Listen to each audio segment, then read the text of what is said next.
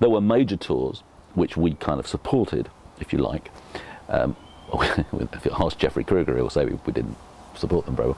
But um, yeah, I mean, for every Marvin Gaye, there was then a Junior Walker doing um, clubs and, and Bailey's. Of course, there was Bailey Variety Clubs then, of course, was big for, for the middling Motown acts. All of those guys could work that circuit regularly. Certainly, Junior Walker was one of the most prolific UK tours. I think he came three times during during my time at Motown. Um, and you'd go, uh, that, that was my entree to American air bases. And that was a, whole different world. Um, and then you'd have the bigger tours with Marvin. And then the Diana Ross, uh, I, I, worked on the Diana Ross tour, which was which happened around the time of her movie, second movie, Mahogany. Uh, Richard Williams at the Times, as were a lot of other journalists at that time, were besotted with James Jamerson, the bass player who was on the tour with Diana. And I got Richard Williams promised me like the cover and the centre spread with an interview with James Jamerson. And in my naivety, you know, I, I thought have said, yeah, fantastic. And went to Berger sort of, to sort of arranging it. And, and Shelley said, no, we can't do that. You know, we detract from Miss Ross. So I started going, what the fuck are you talking about? How can it? he's a fucking bass How can he detract from Diana Ross as singer? Yeah, well, it won't go down very well. You know, she doesn't get the cover, of Melody Maker and the bass player does. And I'm going, ugh, and, and stormed off. And, and, anyway, the irony of it is that I think the next night or the night after that, um, Jamerson, who was you know a bit of an alcoholic, actually got so pissed he fell off the stage in Birmingham or somewhere and was sent home. Now, I've never known to this day whether he was sent home because he was a drunk or he was sent home because there was a danger he might get more publicity than Diana Ross. The, the, live show coverage was the main thing. You get concert reviews quite easily. But I mean, as far as as far as uh, as, as far as as volume of coverage, press coverage goes, the best time I ever had at Motown, and I love telling this, people, particularly Motown fans that you meet, all used to work for Motown.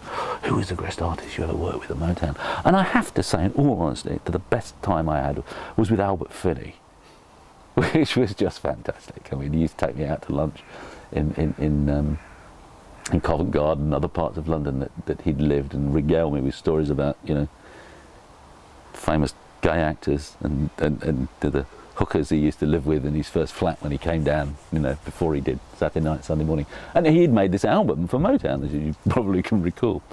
Uh, and the co press coverage I got was just incredible. It's everywhere you get it covered. And, and I distinctly remember Jack Tinker, was it Jack Tinker of the Daily Mail, who was this formidable, legendary theatrical critic.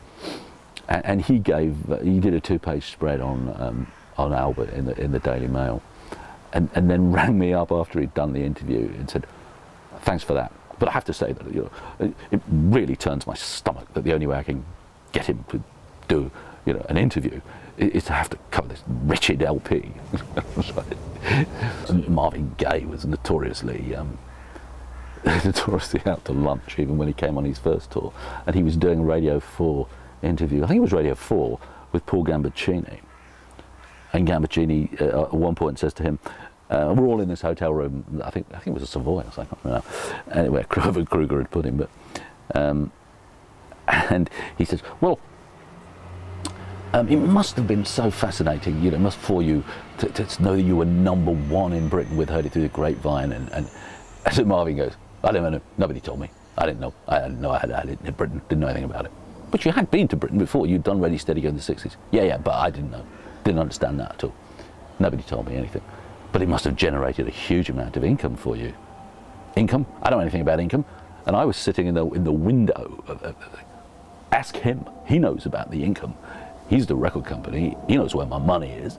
I don't know where my money is. I don't get any money. And these are Radio 4 people. It wasn't live, obviously, but everyone was thinking, oh, Christ, we've got to do some editing here.